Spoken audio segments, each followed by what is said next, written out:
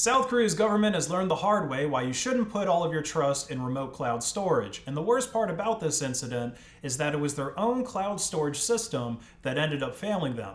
Last month, there was a lithium ion battery fire at South Korea's state data center that totally destroyed 96 different computer systems, which disrupted a wide range of public and government services, including email and KakaoTalk, the most popular instant messaging service slash super app in South Korea.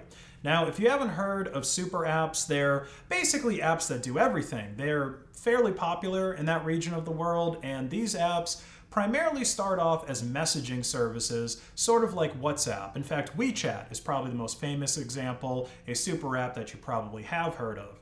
And the idea with these apps is once you have a lot of people using the messaging service, you just start adding in extra functionality like social media, banking, e-commerce, gaming, and basically everything that someone could possibly want to do online. And that way people spend all of their time within your app. But of course, one of the problems with this is that the infrastructure supporting the app if it goes down, life in that region basically grinds to a halt. All of a sudden, you can't pay for anything because everyone uses the app, especially in cities where a lot of businesses no longer accept cash. You can't message anyone, and God forbid you have a smart home that's reliant on any of this app's infrastructure or any other digital infrastructure that ended up going down.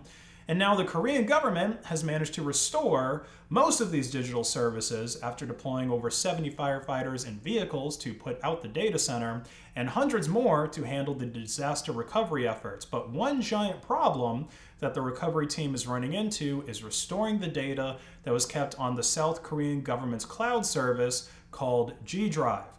Now, G Drive doesn't have anything to do with Google Drive or really any of Google services. The G in G Drive just stands for government, which South Korea started back in 2017. Not the South Korean government, but rather the cloud storage. And they did this to make it easier for their workers to share and store documents, and it was also supposed to make the data more secure and give South Korea some digital sovereignty since they manage this infrastructure entirely on their own. Over 125,000 public officials use this cloud storage, which held roughly 858 terabytes of data that has been permanently lost at this point. South Korea's Ministry of the Interior and Safety had issued guidelines to government employees that stated all work materials should be stored not on Office PCs, but should be stored on G Drive. So the materials that were lost from this data center fire that ended up destroying the G drive are most likely just not old archival documents that might not be that important, but they're probably data that was being worked on recently based on these statements that were published by the Chosun Daily. The South Korean government had a very cloud-centric workflow. Everything was stored on G Drive, and I guess the cloud-centric workflow makes sense since South Korea has pretty fast internet. You know, I wouldn't be surprised if most government facilities had gigabit or faster connections, which makes the cloud just about as fast as a consumer USB hard drive that's plugged right into your desktop or laptop. Now, different agencies within South Korea have reported different levels of reliance on G Drive despite that supposed mandate for all ministries to use it extensively. Uh, for example, the Ministry of Personnel Management, they actually mandated at that lower level that all of their documents be stored on the G drive exclusively since 2016, and this was done after a break in by a civil service exam applicant who stole some of this sensitive data. So they must have thought that keeping this information on a remote drive would make it more secure against theft, and it probably did, but the trade off was a weakness to fire.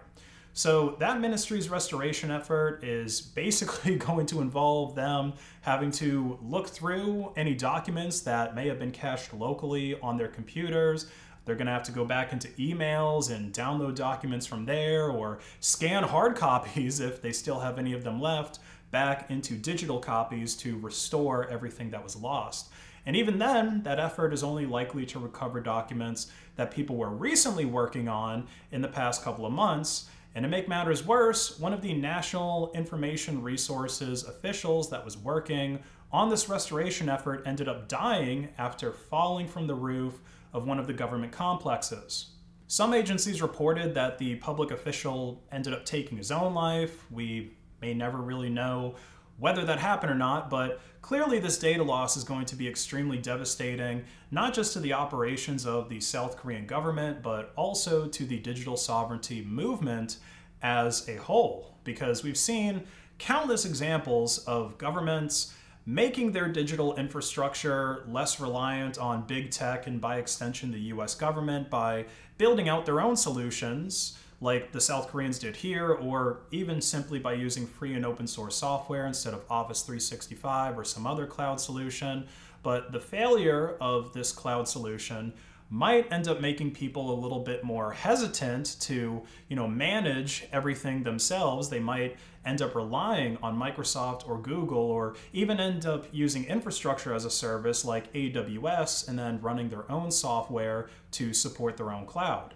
The redundancy and backup procedures that those third party services have pretty much ensures that you aren't going to lose your data in something like a fire or most other natural disasters.